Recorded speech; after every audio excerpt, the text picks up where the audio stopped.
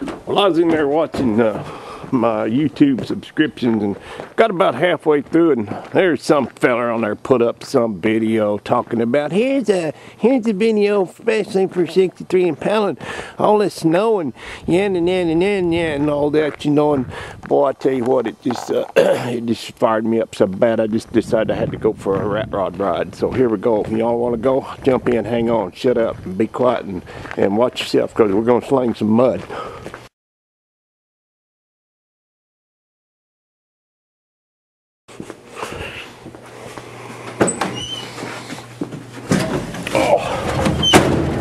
tired. I've been out uh, walking fields all day and cutting down trees. But I just ain't never too tired to go for a ride in this old baby.